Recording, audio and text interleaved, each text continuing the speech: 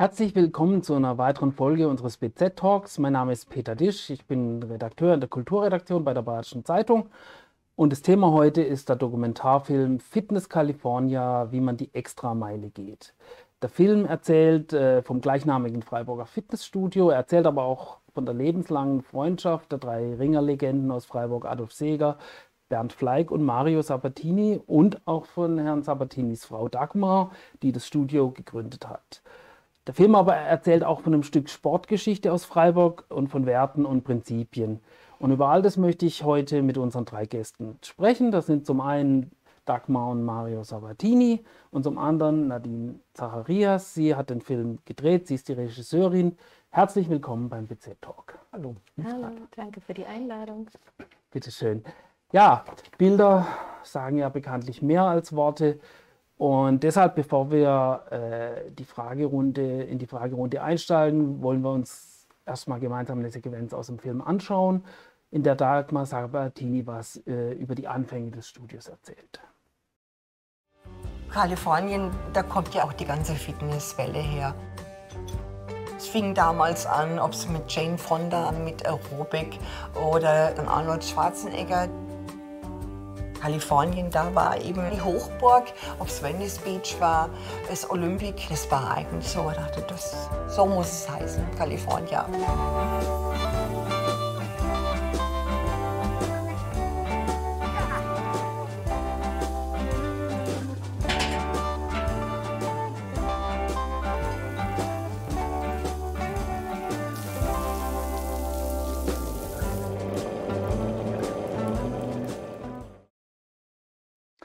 Ja, Frau Sabatini, äh, wann wurde das Studio genau gegründet und was war Ihre Motivation? Hat es da das noch nicht gegeben bei uns oder nicht so, wie Sie es vorgestellt haben? Also gegründet haben wir es am 20. Oktober 1982, wir beide zusammen. Wir waren zuerst in der Lörracher Straße, nicht weit von hier. Ähm, wir haben beide schon trainiert. Er hat ja schon immer Krafttraining gemacht und ich habe mit einer Freundin Krafttraining gemacht. Und so sind wir eigentlich auf die Idee gekommen. Das ist meine Idee. Sowas könnte man ja machen. Ich habe in einem kleinen Studio trainiert und ich fand das ganz toll. Okay, was haben Sie denn bis dahin beide äh, beruflich gemacht? Ich war Erzieherin im Kindergarten, so acht Jahre lang mit den Kleinen, jetzt sind es größere. Ich war Sportlehrer und Trainer, also hauptberuflich. Okay, und ähm, dann sind Sie quasi Unternehmer geworden, wenn man so möchte, in die Selbstständigkeit. Ähm, hat man da manchmal so ein bisschen Bauchgrimmen? Äh, wer, wie war denn da Optimismus und Pessimismus so bei Ihnen verteilt? Ja, am Anfang waren wir natürlich beide optimistisch. Er war ja immer noch Sportlehrer und wir haben das beide zusammen geschafft. Wir haben uns da durchgewurschtelt. der Anfang war schwer, aber die Leute kamen, es war ja ein Hype sozusagen, der herübergeschwappt ist zu uns. Und da war bei uns auch volle Hütte, kann man sagen. Und ähm, wie hat sich dann so die Rollenverteilung entwickelt? Heute ist ja auch Ihr Sohn noch mit mhm. vor Ort äh, im Einsatz. Willst du zu sagen? Ja, am Anfang äh, haben wir beide zusammen im Studio, also wir waren ja Tag und Nacht in unserem Studio und habe irgendwie geschaut, was kann man da noch machen, was kann man da noch machen. Ich, meine, ich habe ja weiterhin aber meinen Beruf als, als Sportlehrer und Trainer. Ich war ja hier Trainer im Olympiastützpunkt. Also früher war das nur Bundesstützpunkt, jetzt ist ja Olympiastützpunkt. Und so ist das halt entstanden. Gut, und äh, heute so im Film sieht man ja, ich sage jetzt mal, Sie sind so ein bisschen die gute Seele, bei ihnen mhm, laufen okay. die Fäden zusammen und er äh, ist äh, nicht das Mädchen, aber der, der, Mann für alle Fälle, vom Richtig. Hausmeister bis zum, äh, bis zum Aufräumen äh, der, ja. der Gerätschaften und so. Und ähm, das funktioniert. Das funktioniert, ja.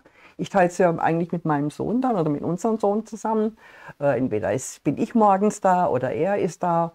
Also wir verteilen das eigentlich über den ganzen Tag wirklich gut. Aber mhm. halt siebenmal die Woche.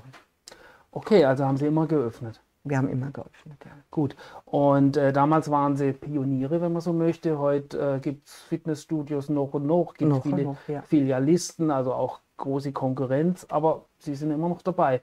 Was ist so äh, das Erfolgsgeheimnis oder das, das, was Sie von den anderen unterscheidet? Also bei uns würde ich jetzt mal sagen, ist es das Persönliche, wenn jemand reinkommt, der wird schon begrüßt. Und ich unterhalte mich auch gern mit den Leuten und es ist einfach familiär bei uns. Es sind sehr viele Freundschaften entstanden bei uns. Es haben sich auch viele gefunden, natürlich auch wieder getrennt, aber so ist es halt. Und was würden Sie so sagen, wie, wie, wie ist es äh, Publikum so, wie ist es gemischt, äh, wer kommt? Das Publikum ist also sehr gemischt. Es fängt an, einfache Angestellte, Ärzte, alles Mögliche trainiert bei uns. Gut. Ähm, Herr Sabatini, zu den treuesten Kunden zählen natürlich auch Ihre alten Freunde und Ringerkollegen Bernd, und Adolf, äh, Bernd Fleig und Adolf Seeger. Als Ringer waren Sie alle drei in den 1970ern, also nationale, internationale Spitze.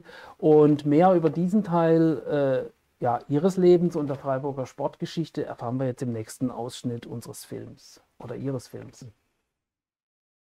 Es hat keine Sportart gegeben, die so hoch angesiedelt war wie mir. Da war kein Fußball. Da war schon eigentlich wer und das, da war man schon ein bisschen stolz drauf. Der Mario hat aus dem Lehrbuch einfach gerungen. Also das ging zack, zack, zack. Das war, das war einfach eine Augenweide, dem zuzuschauen. Und kann man gar nicht beschreiben. Es war immer schön dazu zu gucken. Ich wusste eigentlich immer, wenn er auf die Matte geht, äh, dann passiert was, dann ist Action.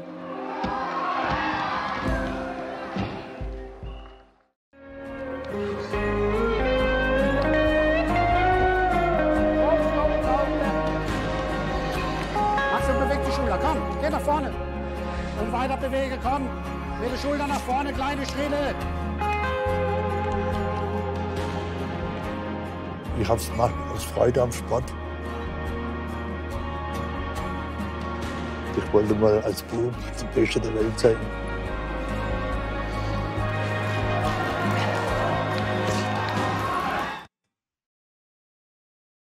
Äh, Herr Sabatini, wie kamen Sie und die anderen denn damals zum Ringen? Ich meine, es gibt ja verschiedene Sportarten. Was hat sie ausgerechnet zum Ringen hingezogen? Es war so, ich war, habe mit Judo angefangen, weil ich war eigentlich recht schmächtig. Ich habe gedacht, ich muss einen Zweikampf machen und habe ich mit Judo angefangen. Und äh, beim Judo war auch einer, der war im Ringen in St. Georgen. Der hat gesagt, ja, du bist leicht, wir brauchen eine Leichte in unserer Mannschaft. Und so hat das angefangen. Bin ich einmal ins Training gegangen da nach St. Georgen, nach Freiburg St. Georgen. Das war damals die Badenliga und das hat mir dann riesig Spaß gemacht. Ausschlaggebend war allerdings mein allererster Kampf. Das, ich habe nicht mal Ringertraining gemacht, ich bin vom Judo gekommen. Dann hat unser damaliger Vorstand, Adolf Stadelbach, gesagt, du musst gar nicht äh, Du musst, nur auf die, du musst nur auf die Waage stehen, du hast gar keinen Gegner. So leichte gibt es gar nicht.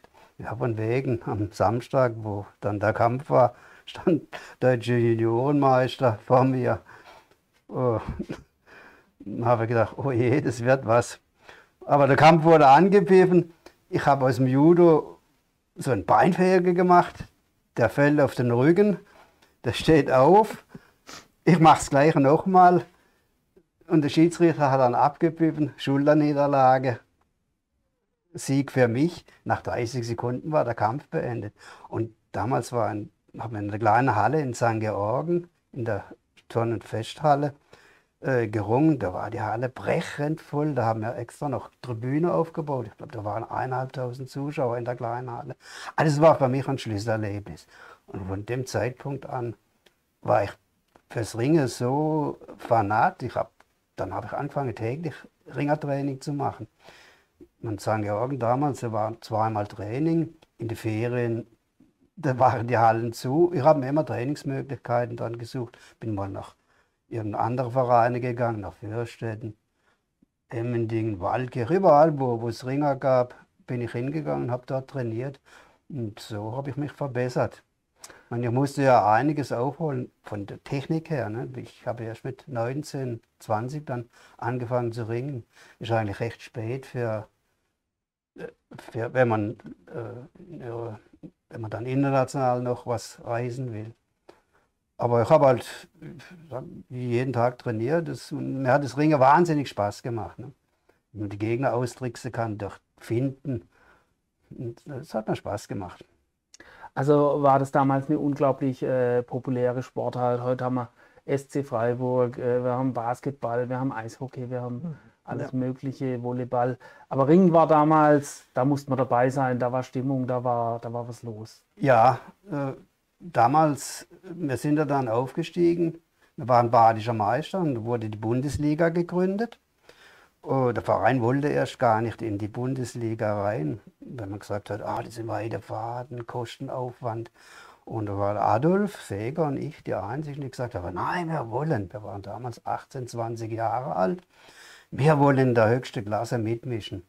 Und so haben wir unsere Funktionäre halt unter Druck gesetzt, bis ich gesagt habe, also wir machen es. Und so ist es dann äh, geschehen. Wir sind dann in die Bundesliga und seit 1964 ringt ja Freiburg in der Bundesliga. In der ersten Bundesliga, ab und zu mal, so ein paar Jahre noch in der zweiten Bundesliga, aber immer Bundesliga bis heute. Das sind jetzt fast 60 Jahre. Das ist schon äh, eine Sache, nicht für Freiburg. Und also ähm, der Adolf Seger und Sie haben in St. Georgen gerungen und der Bernd Fleig, war der auch in dem Verein oder bei der Konkurrenz? Bernd Fleig war damals in Freiburg-Haslach. Das war unser Konkurrenz. Das war die größte Konkurrenz. Und die Kämpfe, also Freiburg-Haslach ist ein paar Jahre später auch in die Bundesliga gekommen. Und damals, wo die noch, wo die, die Lokalkämpfe, das war der Höhepunkt von der ganzen Saison. Ne? Und es hat eigentlich das ganze Ring in Freiburg belebt. Jeder in Freiburg hat von dem Kampf gesprochen.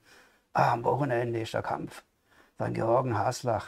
Und da ging es als heiß her. Ne? Das war schon, war schon enorm.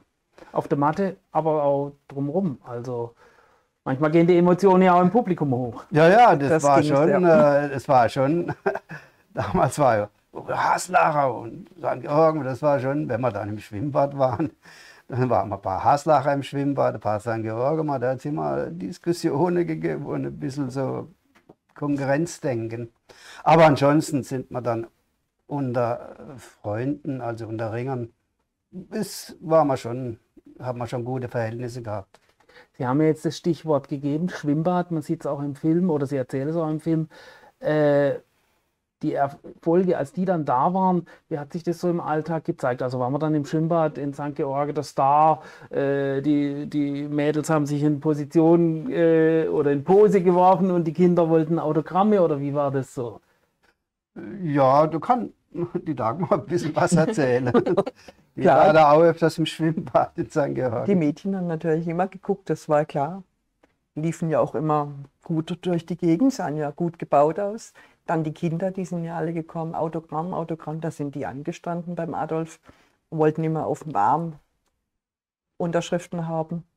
Ja, war schön anzugucken. Dann haben sie ja früher noch alle äh, Fußball gespielt im Käfig in St. Georgen, stundenlang. Und, und immer barfuß. Und immer barfuß und ja, war schön anzuschauen. Äh, Fußball ist auch ein gutes Stichwort. Also mit Sportarten wie Fußball oder vielleicht auch Tennis hat man damals schon Geld verdienen können, hat man vielleicht sogar auch, wenn man das Niveau hatte, Profi sein können.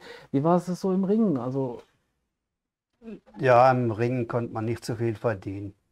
Das war also als Einheimischer eh nicht. Wir sind ja immer in St. Georgen geblieben und da weiß man, da, die Stammkräfte, die kriegen nicht viel. Ne? War vielleicht mal der Kühlschrank drin oder sowas ähnliches. Aber so Geld war da nichts drin. Also Prämien oder so war nee. damals nicht bekannt. Also war ein Essen nach dem mhm. Ringen. Das war alles eigentlich. Aber mein, wir waren echt stolz darauf, dass wir überhaupt in der Bundesliga ringen konnten in St. Georgen. Ne? Das hat uns gereicht. Wir Kam dann vielleicht nicht. mal, Entschuldigung, äh, ein Verein von auswärts, größere Stadt oder so, hat gesagt, kommt zu uns. Ja doch, das sind schon einige Vereine gekommen. Also wenn wir jetzt weggegangen wären, da hätten wir schon einiges bekommen. Aber, das war nicht, das war kein Thema. Nee, also, ich- irgendwo anders hinzugehen, man, ich, das ist mein Heimatort hier und ich fühle mich wohl hier. Wir haben eine schöne Umgebung und ich gehe jetzt heute oft biken, spiele Tennis hier, wir haben unser Studio, also ich fühle mich wohl in der in Freiburg und Umgebung. Also das ist schon toll.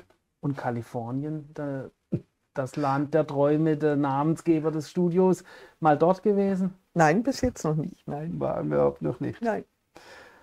Gut, Sie waren, wir haben es ja schon gesagt, alle sehr erfolgreich. äh, Nationale Titel, internationale Wettbewerbe. Der Adolf Seeger ist sogar Weltmeister geworden, hat olympische Medaillen mit nach Haus gebracht. Sie waren, wie gesagt, alle erfolgreich, aber er hat es halt bis ganz nach oben geschafft. Was hatte er, was Sie vielleicht nicht hatten? Oder wie kam das? Adolf hatte ein besonderes Merkmal. Er war ein Kraftausdauerringer. Und äh, sobald sein Gegner in die Bodenlage gekommen ist, hat Adolf wahnsinnig Vorteile gehabt. Er hat seine Gegner so lang festgehalten, bis der Muskel ermüdet war.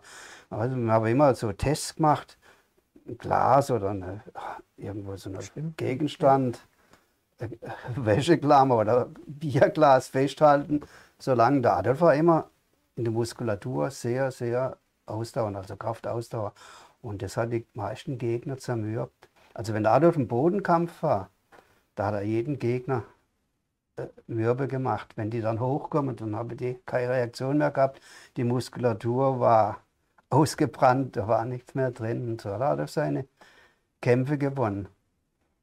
Man, und als Sportler ehrgeizig, er war auch ehrgeizig. Nicht? Wenn, man von zu Hause aus nicht viel hat, dann ist man, glaube ein bisschen ehrgeiziger im Sport und versucht man im Sport alles zu erreichen. Und das war halt unser Plus. Mhm. Es wird ja auch, er spricht es ja auch im Film offen an, ja, die war eine große Familie, die Ja. Segers, Ja. zweieinhalb Zimmer für die Eltern und, und einen ganzen Stall voll Kinder, neun oder zehn zehn Zehn Kinder. mit den Eltern Ja. zu zwölf. Ja. Hat es damals auch eine Rolle gespielt, dass man also mit durch den Sport äh, vielleicht auch die Leiter ein Stück hochklettern konnte, aber natürlich auch rumgekommen ist? Ich meine, Ja, klar, hat es eine Rolle gespielt. Ich meine, ich, ich habe ja 100 Meter neben Adolf gewohnt. Die gleichen Wohnungen, das waren in St. Georgen diese äh, Bergmannswohnungen. Das waren zwei Zimmerwohnungen. Und ich habe mit meinen Eltern 100 Meter vom Adolf weggewohnt. Und unser Vorstand, der hat auch 100 Meter weiter weg gewohnt. Allerdings nicht in diesen Wohnungen. der hat da wahrscheinlich immer ein Auge drauf gehabt, wenn er nach Hause gekommen seid unter der Woche oder am Wochenende. Der Vorstand, meine ich jetzt, oder wie war das? Naja, der hat uns äh, öfters einmal, hat uns auch irgendwo, äh, hat uns Sachen erzählt. Ich kann mich erinnern, Adolf und ich waren bei unserem Vorstand zu Hause und sagt er, damals war Völldag Bundestrainer. Der, Bundes, hat er schon im Visier. Er kommt demnächst auf den Lehrgang. Der, er kommt in die Nationalmannschaft. Und da waren wir noch gar nicht so weit. Ne? Adolf ist mit 27 deutscher Meister geworden. Ich auch erst mit 27 deutscher Meister. So hat er uns hochgejubelt. Und wir haben das geglaubt. Es war alles nicht wahr. Ja, später haben wir den Völltag ja auch kennengelernt bei Lehrgängen. Ich sagte, Nö, das war nicht so. Ich habe euch nicht im Visier gehabt. Aber so war das. Und da wir uns dann angeguckt und so, na ja, eigentlich hat er recht gehabt. Er hat uns äh, so hoch motiviert eigentlich, ja. Also am Schluss äh, kam es dann so weit oder kam es zu dem Ziel. Ähm, wie oft kommen denn äh, Ihre Freunde, äh, der, der Bernd äh, und der Adolf, wie oft kommen die denn so zum Training? Also im Film hat man ja das Gefühl, die sind jeden Tag da. Ja, eigentlich äh, jeden Tag. Also fast jeden Tag, ja. Adolf war jetzt gestern wieder hier. Bernd geht es im Moment nicht so gut, er ist operiert worden. Muss ein bisschen, schwächelt ein bisschen. Aber ich hoffe, dass er auch wieder auf die Beine kommt. Ja, und äh, wie sehr sich der Adolf Seeger beim Training bis heute reinhängt äh, und was ihm der Sport gibt, das sehen wir jetzt im nächsten und letzten Ausschnitt aus dem Film.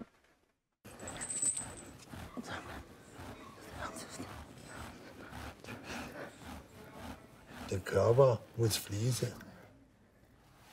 Ohne Sport lebe ich wie Selbstmord. Weiß nicht, wenn ich die Höhne so angucke, raucht und säuft. Das ist so abartig, dass man sich als Sportler nicht so im Griff hat. Das kann doch keine Lebensqualität sein.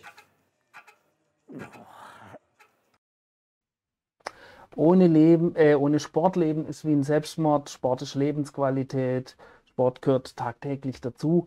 Frau Zacharias, äh, was erzählt uns denn der Film über die Werte und Prinzipien, die im California vielleicht nicht oh, so propagiert werden, aber einfach ganz normal gelebt werden?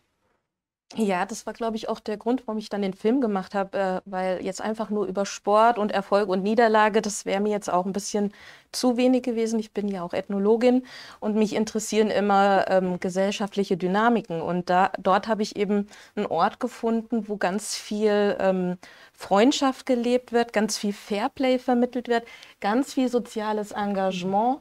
Also die drei äh, Ringer hier, die geben immer noch Einführung und das ist egal, ob man jetzt der Weltmeister ist oder nur die Hobbysportlerin. Ähm, man wird da einfach aufgenommen und das ist ähm, für mich einfach ein ganz utopischer Ort, weil dort eben solche Werte noch gelebt werden. Also Werte, die der Sport ja zweifelsohne hat, aber die vielleicht in der heutigen Zeit, Sie haben ja auch die großen Sportarten angesprochen, nicht unbedingt mehr so gelebt werden. Und es hat mich sehr fasziniert an den drei Ringern, dass die so bodenständig geblieben sind. Ich meine, die haben immense Erfolge erlebt. Das ist ja unglaublich. Die sitzen manchmal bei Dagmar an der Theke auf drei Quadratmeter und was da an Medaillen sitzt, ja, ähm, und was die geleistet haben. Und die lassen das nicht raushängen oder so, sondern die setzen sich so einfach für die Gesellschaft ein und ähm, zeigen, ähm, ja, finde ich, all das Gute im Sport. Und das fand ich einfach unheimlich schön. Und dann natürlich ähm, diese Geschichten wieder hervorzugraben. Wir haben es ja gerade gehört, was der Mario erzählt hat. Also die Hallen waren voll. Ähm, das war einfach ähm, der Sport hier. Und das ist so ein bisschen auch eine vergessenes Kapitel in der, in der Sportgeschichte ganz allgemein, also nicht nur hier in Freiburg, ähm, aber diese Ringerszene, die lebt. Also es gibt unheimlich viele Ringervereine. Hier in Freiburg sind es drei. Es gibt ja auch noch einen dritten Verein hier, ähm, Germania 1885. Äh, Und dann um Freiburg herum ähm, auch nochmal drei, vier Vereine. Und ähm, da wird unheimlich viel ähm, soziales Engagement gezeigt. Und das fand ich wahnsinnig schön. Und wie, wie kamen Sie auf die Idee? Wie, wie kamen Sie zum California? Äh, erzählen Sie einfach mal, wie die Genese des Films war. Ja, also ich habe da selber auch trainiert, tatsächlich. Ich bin aber nicht Ringerin, äh, bin Leichtathletin. Ich gehe ähm, vor allem immer ab Herbst bis Frühjahr dorthin, um halt so ein Aufbautraining zu machen. Ähm, und so bin ich, äh, man kommt ganz schnell in Kontakt mit den zwei sowieso. Die Dagmar begrüßt ja wirklich jeden. Ähm, sie ist sozusagen die gute Seele. Man kommt rein und dann strahlt da die Dagmar und das ist einfach total schön, auch wenn man mal einen Ja, stressigen Tag hat. Ähm, und dann kommt man ins Gespräch und ich habe relativ schnell dann eben erfahren, was da für Geschichten eigentlich vergraben sind in diesem sehr verwinkelten, großen, äh, alten Kraftraum. Ähm, genau, und dann habe ich erst ein paar Jahre da trainiert, aber konnte ja schon meine Recherche eigentlich machen, habe dann ein Treatment geschrieben und erst als dann es klar war, dass es eine Förderung gibt, habe ich das dann, habe ich sie eingeweiht sozusagen, dass ich gerne einen Film mit ihnen drehen würde. Und dann waren Sie sofort dabei oder hatten Sie Bedenken oder wie war das für Sie? Wir waren eigentlich gleich mit dabei, klar. Wir haben ihnen zugesagt und dann habe ich auch gedacht, oh, okay, was kommt da auf uns zu? Wir wussten ja noch nicht, was da auf uns zukommt. Ja, aber war eine schöne Zeit. Und wann genau wurde gedreht? Äh, wie ist es so abgelaufen? Also wir haben ähm, 2019 den gesamten Sommer eigentlich ähm, im Fitnessstudio California gedreht. Ich glaube, wir haben im Juni begonnen und ähm, bis in September rein. Und das war ähm, ein wahnsinnig warmer, heißer Sommer. Also wir mussten Kalifornien nicht unbedingt erzählen, es war einfach schon in dem Material drin. Ähm, wir hatten durchgehend über 32 Grad bis 40 Grad hoch. Also es waren, ähm, glaube ich, schon ein bisschen erschwerte Verhältnisse, allein schon durch die Hitze. Ähm, wir haben auch mit ähm, einer sehr großen ähm, Kamera gedreht, mit der Red. Das ist eher untypisch, ähm, mit so einer Kamera einen Dokumentarfilm zu drehen. Also der Kameramann und der Tonmann waren auch relativ gefordert, ähm, gerade bei den Temperaturen. Aber ja, wir wollten einfach ein einen Kinodokumentarfilm machen und haben gesagt, dazu brauchen wir die nötige Technik, damit die Bilder eben auch auf der großen Leinwand so wirken können. Jetzt heißt es ja Dokumentarfilm, aber die Leute wissen natürlich, äh, sie stehen vor der Kamera, äh, sie sind irgendwann mal auf der Leinwand. Was haben Sie so für Tricks und Kniffe, damit die Leute möglichst äh, ja, sich selbst bleiben und, und nicht irgendwie versuchen, sich zu verstellen automatisch oder ja, also ich spreche das erstmal gar nicht an, sondern ich äh, versuche eigentlich auf die Protagonisten und ihre äh, Eigenheiten erstmal mhm. einzugehen und damit zu arbeiten. Also ich finde das auch schön. Also der Adolf spricht ja auch manchmal in die Kamera rein oder der Mario und das finde ich wichtig und gut und das ist das Authentische ja auch beim Dokumentarfilm. Ähm, klar, dann bei den Interviews, da war es dann auch, äh, hatte ich ja. das Gefühl, schwieriger, weil so bewegt man sich ja einfach dann im Fitnessstudio mhm. und begleitet die Leute. Ähm, und beim Interview ist es dann erstmal, dass man so eingerichtet dann sitzt ne, und dann auf einmal Fragen beantworten muss. Und also bei mir ist da eigentlich die Devise, wir nehmen uns so viel Zeit, wie einfach gebraucht wird. Ne? Also mit dem Bernd, glaube ich, haben wir ein dreistündiges Interview gedreht. Mhm, ähm, da war aber auch, auch sehr viel Redebedarf mhm. da. Und genau, also so ähm, schaue ich einfach, ähm, wie es den Protagonisten gut geht. Und das ist ja auch das Allerwichtigste, dass die sich wohlfühlen vor der Kamera. Und ich glaube, wir hatten einfach schon über die Jahre so ein Vertrauensverhältnis, weil wir kannten uns. Ja, ich mhm. bin da ja nicht hingegangen, habe gesagt, so jetzt dreh mal, sondern ähm, kannten mich ja schon, kannten ja, ja auch meine Geschichte ja. ein mhm. bisschen. Mhm. Und ich hoffe oder denke mal, das hat es auch ein bisschen äh, vereinfacht. Ähm, Sie haben eine, daraus eine Version gemacht, Stunde 40 etwa. Wie viel Material muss man für sowas oh sichten? Oh Gott. Also äh, wie viel Stunden Material das war? Also wir haben äh, 37 Drehtage am Ende gehabt und wir sind schon, ähm, also wir sind Dokumentarfilmer, das heißt, wir drehen sehr viele Stunden am Tag. Ähm, wenn man das jetzt hochrechnet, keine Ahnung. Aber ich habe allein zum Sichten des Materials, also das alles nochmal live durchzusichten, habe ich äh, fünf oder sechs Wochen gebraucht. Nur sichten. Da war noch nichts geschnitten. Und da waren natürlich bestimmt auch viele Szenen dabei, wo man das, ich nenne es jetzt mal das magische Viereck, Sabatini, Sabatini, Flyseger so in Action gesehen hat. Was würden Sie so sagen? Äh, ist das so der, der Kern der Geschichte, die, die so das Verhältnis dieser vier Personen und äh, drumherum ist alles aufgebaut? Oder was, was, wie sind Sie so an daran gegangen, die Geschichte dann zu erzählen? Hm. Ähm, ja, natürlich, die bilden irgendwo ja das Herzstück, wobei die Dagmar ja und auch dieses Fitnessstudio eigentlich für mich die vierten und fünften Hauptprotagonisten sind. Und das war natürlich sehr schwierig, ähm, das in den Film zusammenzubringen, weil es sind eigentlich vier Handlungsstränge. Plus wir haben ja noch gerade auch im Einspieler gesehen, noch Nebenprotagonisten mit den ähm, beiden jüngeren Sportlern, den Maximilian Riemensberger und dem ähm, Martin Fleig, der ja ein sehr erfolgreicher Parasportler ist, auch mehrmaliger Weltmeister. Ähm, genau, und ich habe eigentlich am Anfang ähm, die unterschiedlichen Handlungsstränge geschnitten. Also das war ähm, Dagmar und Mario eigentlich als Pärchen und Adolf und Bernd die ja seit über 70 Jahren sich kennen. Also die kennen sich noch länger als Mario. Also ihr, ich glaube, ihr kennt euch seit 60 Jahren so. Ne, so. Bernd und Adolf, die haben sich früher kennengelernt. Schon mit fünf, sechs haben die schon sich kennengelernt. Das erste Mal miteinander mit sieben oder acht auch ja. dann gerungen, eben auch noch in dieser Konkurrenzsituation, diese zwei unterschiedlichen Vereine. Also das war dann das zweite Pärchen und die Nebenprotagonisten auch nochmal mit ihren Handlungssträngen.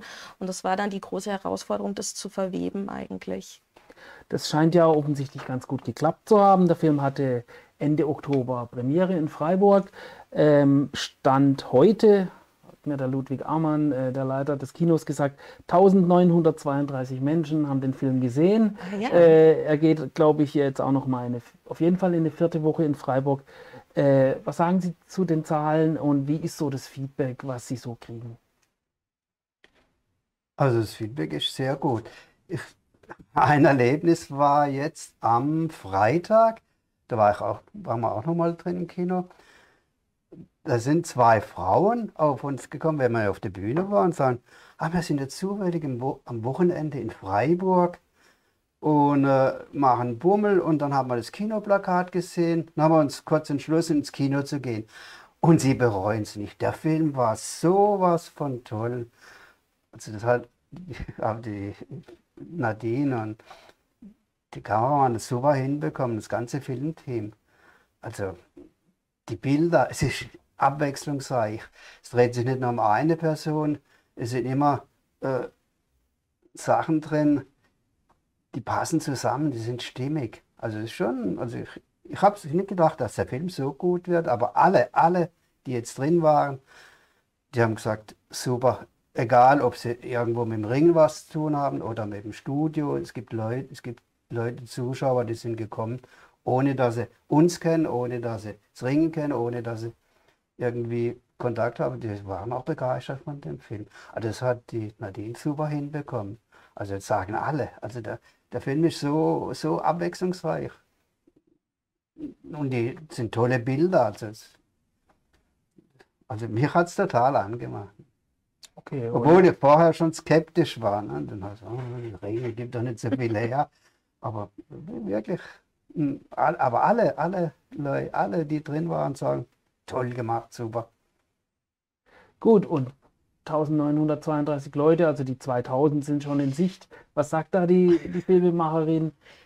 Ja, äh, ich, ich schaue da gar nicht so auf die Zahlen, aber es freut mich natürlich sehr. Es wurde uns eben auch äh, oft so vermittelt, ja, was soll denn das für ein Film sein und also ins Kino. Hm. Und wir haben natürlich das immer für die große Leinwand geplant. Also der Kameramann kommt auch vom szenischen Film. Dementsprechend sind das auch sehr, sehr tolle Bilder, die er gefunden hat. Und wir wollten ja auch dieses kalifornische Flair einfach so übertragen hier nach Freiburg.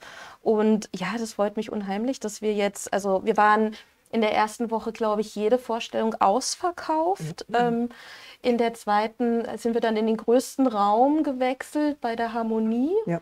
Ha, ja, mein Tonmann hat so lustig gemeint, dass wir jetzt Scorsese mal abgelöst haben. Ja, das ist natürlich toll. Ich denke, er kommt gerade in Freiburg sehr gut an, weil man kann so gut ähm, damit connecten. Ich glaube, es sind auch schon Leute bei dir vorbeigekommen, Dagmar, ne? Es sind bei mir Leute vorbeigekommen am, am Sonntag, ein älteres Ehepaar.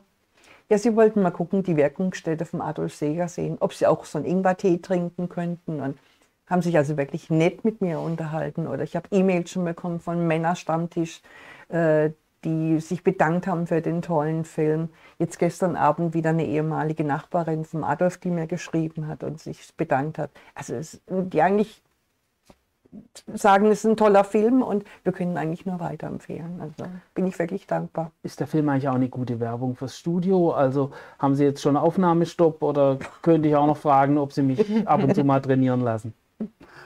Nee, im Studium merkt man eigentlich wenig davon. Es kommen einige, die schon früher bei uns trainiert haben, die schauen wieder mal rein, sagen Hallo und so. Aber es könnte sein, dass es vielleicht eine Sogwirkung hat, dass man sagt, ja, geht man wieder mal ins Fitness California. Ne? Das könnte schon sein. Aber im Moment merken wir jetzt noch nicht viel davon. Okay, gut. Aber es sollte auch kein Werbefilm sein. Nein, das ist äh, schon klar. Aber hätte ja sein können, dass die Leute sagen, oh, da ist so, das ist so angenehm, da ist so familiär, ich suche gerade mhm. was. Ja gut, wir sind ja eh im Studio, äh, das sehr familiär ist. Dagmar kennt ja jeden, vom Kleinsten bis zum Größten, das kennt alle mit dem Namen das macht schon was aus. Okay, gut. Zum Abschluss noch eine Frage äh, an, an die Frau Zacharias. Wie geht es mit dem Film weiter? Was ist so in der nächsten Zeit noch geplant? Also wir haben ja jetzt, deswegen es sind alles so Prozesse, ne? 2019 haben wir gedreht und es hat dann eine lange Postproduktionsphase gegeben. Eben das Schneiden war äh, eine, eine längere Sache, aber auch Corona hat so einiges ausgestoppt. Das heißt, wir haben jetzt 22 eine ganz erfolgreiche Festivaltour hinter uns. Da haben wir auch gesehen, dass der Film sehr gut nicht nur in Freiburg funktioniert, er trifft ja irgendwie den Nerv der Zeit. Er hat ähm, irgendwie, glaube ich, auch immer dieses zwinkernde Auge und so diese positive Herangehensweise in der heutigen Zeit, glaube ich, ist es auch mal schön, so einen Film zu haben äh, mit ganz, ganz spannenden Lebensgeschichten und haben jetzt quasi unsere Kinotour am 26. Oktober in der Harmonie gestartet. Eben wir laufen jetzt auch noch vierte und fünfte Woche äh, in der Harmonie und ähm, gehen jetzt weiter auf Kinotour, haben morgen unsere La-Premiere im Kino Forum La Mm, am Sonntag haben wir unsere Emmendingen-Premiere und den Termin habe ich noch nicht ganz drauf. Das ist Ende, Ende November, laufen wir auch in Haslach äh, im Kinzigtal. Allein in diesem kleinen Tal gibt es drei Ringervereine, die total engagiert sind und den Film sehen wollen. Und ähm, so arbeiten wir uns quasi jetzt vom Süden weiter nach ja. Norden und äh, Osten und wollen eben eine deutschlandweite Kinotour machen. Wir laufen auch noch auf der Filmschau Baden-Württemberg. Am 7. Dezember in Stuttgart, da sind wir auch für bester Dokumentarfilm nominiert. Genau. Und ich denke, wir werden noch das ganze nächste Jahr eigentlich mit der Kinotour beschäftigt sein. Sehr schön, dann zieht der Film also hoffentlich weite und weiteste Kreise.